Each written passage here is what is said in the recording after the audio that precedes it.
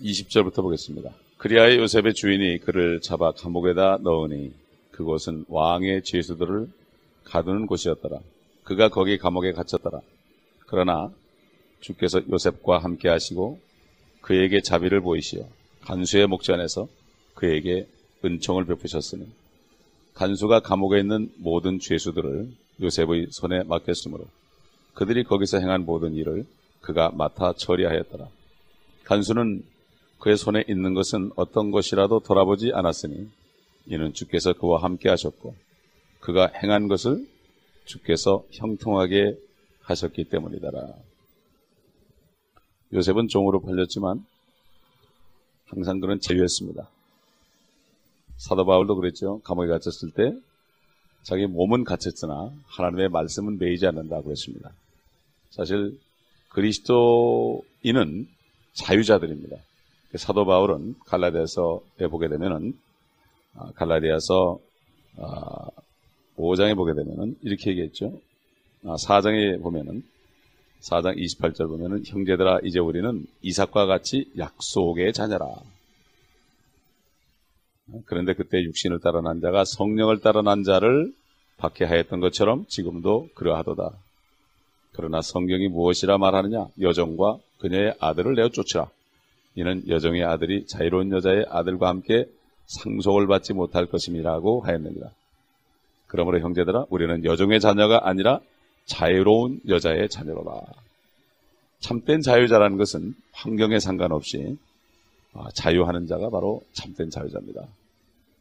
아, 사실 요셉이 진짜 자유자였지만 요셉을 감옥에 쳐넣은 보디발이나 아, 모든 그 애굽에 있던 이집트에 있던 사람들은 다 종들이었습니다.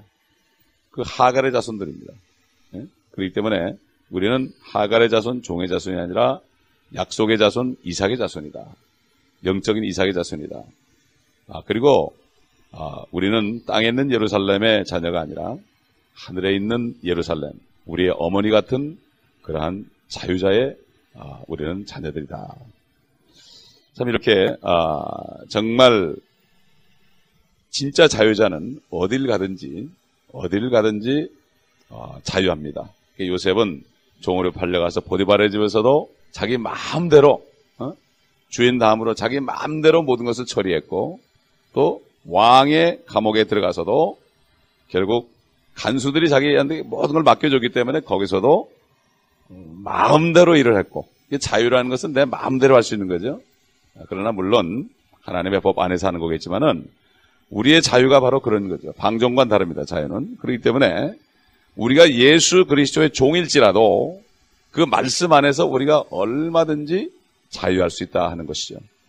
근데 이 사탄이는 이 육신의 자녀들 사탄이는 이 자유자들로 하여금 자유자가 아닌 것처럼 느끼게 하기 위하여 육신적으로 박해를 하고 고통을 주지만 그러나 아, 참 사도 바울이 세 번 자기 몸에 가시 때문에 기도할 때 네 은혜가 네게 촉하도다. 너는 자유자다 이런 얘기죠. 비록 육신에 가시가 있지만 거기에 얽매이지 않고 아, 네가 자유롭게 일할 수 있는 은혜의 자다 이렇게 주님이 말씀하셨습니다. 그러므로 참 우리가 어, 환경이 나쁠 때 그 환경을 벗어나면은 더 자유로울 것 같지만 사실은 주님이 함께 하시는 곳이 자유로운 곳이다 이것입니다. 아, 그래서 옛날에 어떤 미국 목사님이 어, 사탄 숭배자들이 있는 곳에 가서 복음을 전하라는 어, 하나님의 음성을 듣고 어, 교회 성도들에게 내가 이제 거기 가서 복음을 전할 것입니다. 이렇게 얘기하니까 성도들이 한마디로 전부 다 이구동성으로 목사님 거기 가면 큰일 납니다. 거기 가서는 당합니다.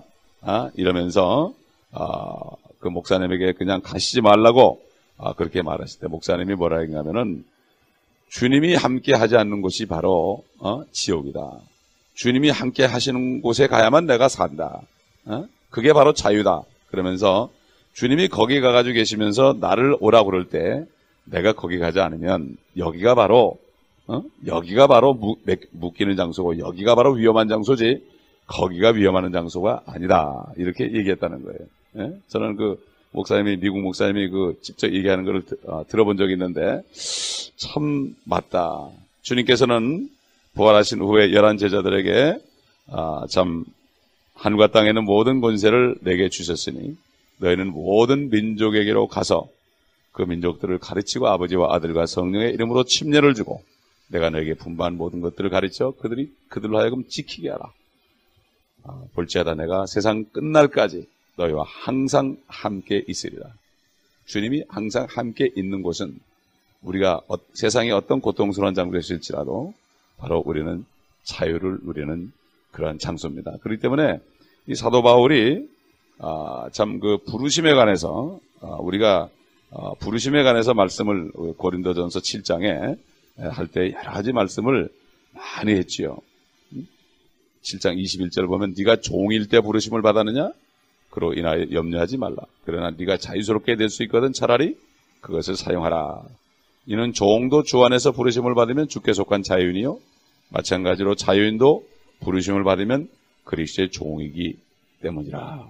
너희는 값을 치르고 산 것이니 사람들의 종이 되지 말라.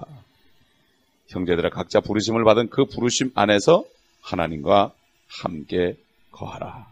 참 이렇게 아, 우리는 그리스도의 종이기 때문에 자유할 수 있다.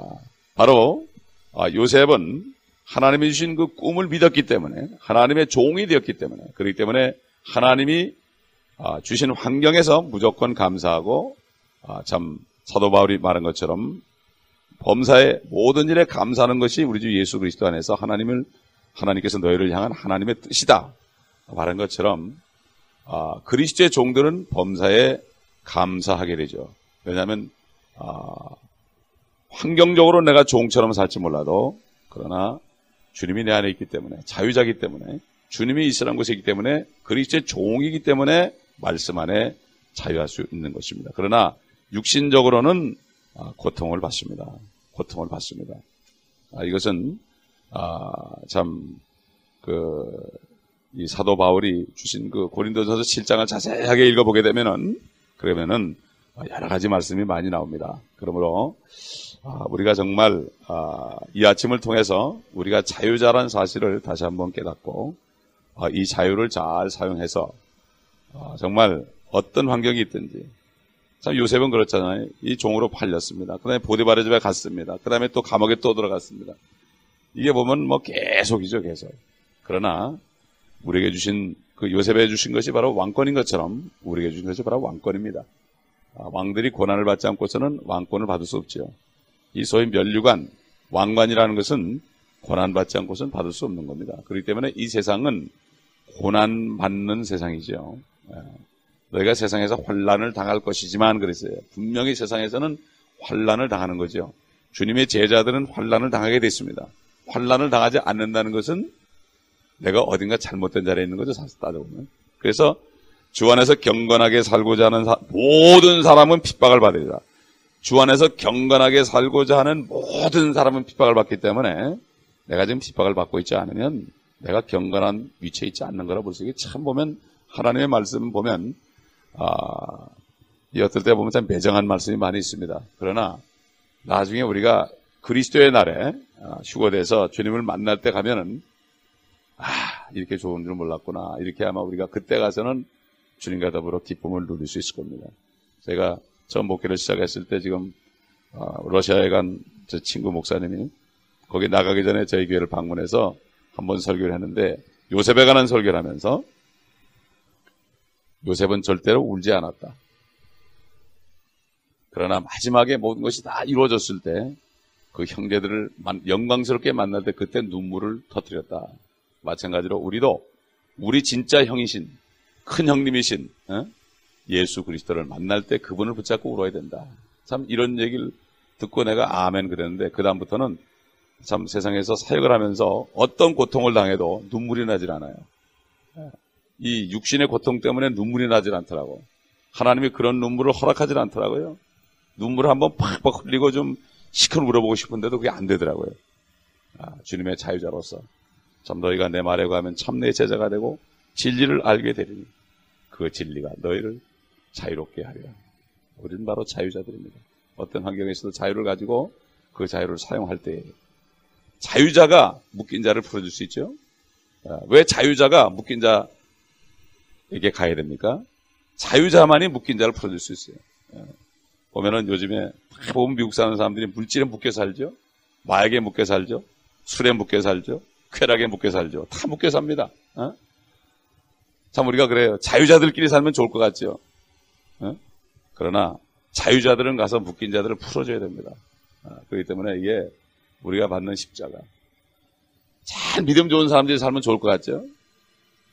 믿음이 좋다고 그런 부부가 사는데 이혼하더라고요. 거기도 한막의 역사예요. 그래가지고 서로 믿음을 가지고 당신이 믿음이 좋은데 이러냐 저러냐 그러더니 결국은 이혼하더라고. 예? 하나님께서 이, 있으라는 장소에 우리가 끝까지 있을 때 하나님께서 우리에게 은혜를 주시고 평강을 주시고 자유롭게 하십니다.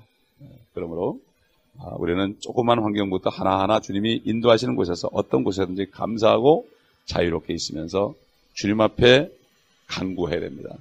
그러나 우리가 분명히 이 땅에서는 환란을 받기 때문에 우리가 기도할 수 있는 특권을 주셨죠. 그렇기 때문에 주님께서 누가복음에 보게 되면은 참 불의한 재판관, 사람을 무시하고 하나님을 두려워하지 않는 그러한 불의한 재판관에 대해서 얘기하면서 참 과부가 밤낮으로 원한을 풀어달라고 할때 그가 정말 착한 마음으로 풀어준 것이 아니라 귀찮아서 풀어줬다. 주님께서 하물며 택한 자들이 밤낮 부르짖는 원한을 하나님께서 속히 풀어주지 않겠느냐.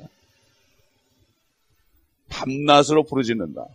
한 번 기도했으면 끝나는 거지 그게 아니죠.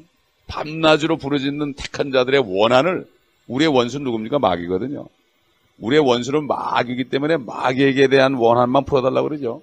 우리 형제들, 형제자매들은 마귀가 아니죠. 아무리 나를 미워해도 그들은 나의 형제자매죠. 사랑해이죠. 그러나 우리가 마음대로 욕할 수 있는 존재는 바로 원수 마귀죠. 그렇기 때문에 그 원한을 풀어달라고 할 때 택한 자들, 뭐, 뭐, 택한 자들은 뭐 첫째는 유대인이고 둘째는 그리스도인들이죠.